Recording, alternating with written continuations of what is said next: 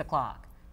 Seven more arrests related to methamphetamine in Berkeley County to tell you about. News 2's Raymond Owens joins us live from Aldine Avenue in Goose Creek, where investigators are working to determine whether a fire there was started as a result of a meth lab. Raymond, also looks like more arrests could be coming soon, right? Absolutely. The uh, sheriff's deputy has been very busy over the last, really the last week on, on a number of issues related to methamphetamine. And investigator sources are telling me uh, that they do believe that this fire that started here night before last uh, was started with a meth lab, but we cannot get that official confirmation from Berkeley County uh, Sheriff's Office as of this point. But they, they tell me definitely they believe that is what happened here uh, the other night. Now, there's also brand new information two more meth lab busts since the beginning of the year. Back on January 4th, the Berkeley County Drug Enforcement Unit arrested six people at this home on Winter Court off Highway 17A for manufacturing meth.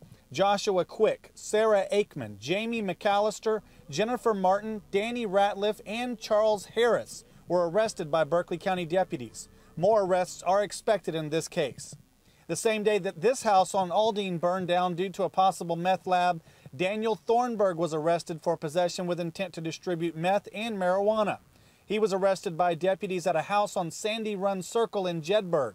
Thornburg had also had six other uh, outstanding warrants that he was charged with. At this fire on Aldine on Wednesday, Justin Wright was taken into police custody on an outstanding warrant for manufacturing meth in an earlier incident. Neighbors say having a possible meth lab just down the street is unreal. I have my little nephew over here all the time. He's only one half, and my nieces and all that. So have that right down the street. It's crazy. Berkeley County found more than 30 meth labs in 2013. We wanted to get some more answers about why more and more meth labs are being discovered. Nowadays, with this one pot method, uh, you can do it in a very confined area. Um, you can even do it out of the trunk of a car.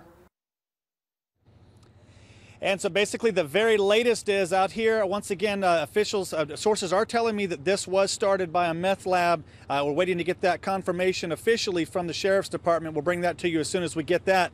But they are expecting to, to make an arrest in this case as well very soon. Also, more arrests coming in that winter court uh, meth lab case. Reporting live from Goose Creek, I'm Raymond Owens, News 2. Okay, thanks, Raymond. And if you have any information about a meth lab anywhere, you're asked to call Crime Stoppers at 554 1111.